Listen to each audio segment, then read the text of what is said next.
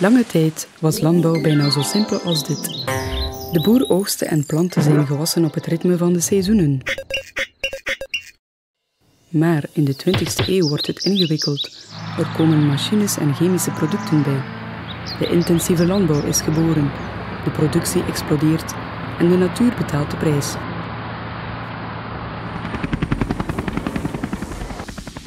Landbouw wordt een vervuilende zaak en zeer winstgevend voor de bedrijven die sproeistoffen maken.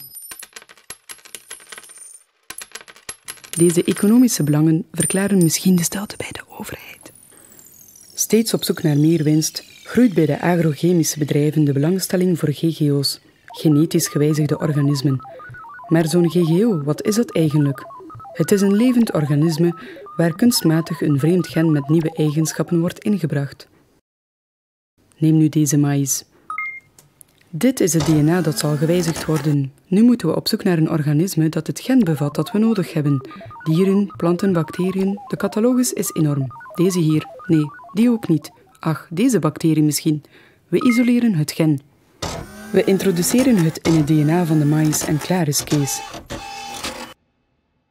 Dit noemt men transgenese. Met die transgenese zetten we het leven in hakje. Duizenden jaren lang heeft de aarde zaden voortgebracht. Nu zijn het de laboratoria. Vandaag maakt men grofweg twee types GGO's. Zij die hun eigen insecticiden aanmaken en zij die resistent zijn tegen bepaalde herbiciden. Oké, maar er is een probleem. Na langdurig gebruik worden die onkruiden en insecten wel resistent. Ze muteren. Om die dan uit te roeien, moeten we nog meer chemische producten gebruiken. Daarbovenop riskeren we dat die genen uit de GGO's zich zullen vermengen met het genetisch materiaal van andere organismen. En dat alles zonder dat er vandaag betrouwbare studies zijn uitgevoerd naar de impact op lange termijn van GGO's op onze gezondheid. Om zich te verzekeren van genetisch materiaal uit de hele wereld, hebben de grote agrochemische bedrijven op slag alle kleine zaadbedrijfjes opgekocht. Zaden zijn nu dus gepatenteerd. Als de boer zijn gewassen jaar na jaar wil planten, moet hij telkens nieuw zaad kopen. En de herbicide die erbij hoort. En de bijhorende pesticiden natuurlijk, alstublieft. Door zelf geen zaad meer te mogen telen, is de financiële afhankelijkheid van de boer compleet. De multinationals dringen hun GGO's op aan de planeet.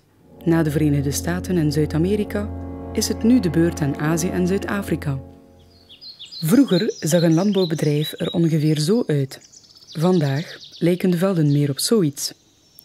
De biodiversiteit in de landbouw en de vele soorten gewassen in het zuiden zijn vervangen door monoculturen, waarvan het enige doel is om plantaardige eiwitten te produceren voor een intensieve veeteelt voor de ontwikkelde landen. Wie weet vandaag dat het merendeel van deze bewerkte voedingsmiddelen genetisch gewijzigde soja, maïs of koolzaad bevat? Diezelfde GGO's dienen om het vee te voeden waarvan wij nadien de afgeleide producten eten. In Europa is het etiketteren van de GGO's verplicht voor plantaardig voedsel, maar niet voor afgeleide dierlijke producten. En je hebt een bril nodig om de lettertjes te lezen. Door dit gebrek aan transparantie wordt de keuzevrijheid van de consument beknot.